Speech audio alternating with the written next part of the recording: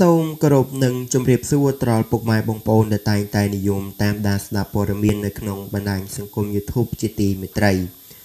បាទនៅក្នុងវេលាគណៈនេះដែរខ្ញុំបានលើកយកនៅអត្ថបទព័ត៌មានថ្មីមួយទៀតហើយដែលមានចំណងជើងថាបើចេះតែឆ្ងល់ថាម៉េចបានសัตว์ឆ្មាខ្លាចបាទផ្លែត្រសក់ខ្លាំងយ៉ាងនឹងពេលនេះដឹងការពិតហើយបាទបរទេស ប្រិមិត្តមួយចំនួនប្រហែលជាធ្លាប់បានទស្សនាវីដេអូជាច្រើនដែលត្រូវបានគេយកមកបង្ហោះលើបណ្ដាញសង្គម Facebook ដោយយកផ្លែត្រសក់មកដាក់ពីក្រោយសត្វឆ្មាដើម្បីបន្លាចពួកវា ហើយបានមហាជនចាត់ទុកថាវាជារឿងកំ pl ែង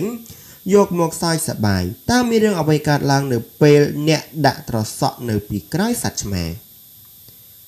អ្នកជំនាញដែលសិក្សាផ្នែកចិត្តសាស្ត្ររបស់សត្វបានឲ្យដឹងថាសត្វឆ្មាដែលឃើញផ្លែត្រសក់ នៅពីក្រោយរបស់ពួកវាគិតថាជាសត្វពស់ប្រហែលជាពស់ប្រលិត ដែលមានពណ៌បៃតងដូចត្រសក់ពេលនេះពួកវាប្រតិកម្មយ៉ាងរហ័សដែលត្រូវតែរត់គេចដើម្បីសវត្ថភាពអ្នកជំនាញបានឲ្យដឹងទៀតថាការរត់គេចនេះអាចធ្វើឲ្យវារត់ទៅបុកនឹងវត្ថុផ្សេងផ្សេងនាំឲ្យវាមានរបួសក៏ថាបានបើយើងឃើញថាការធ្វើដូចនេះ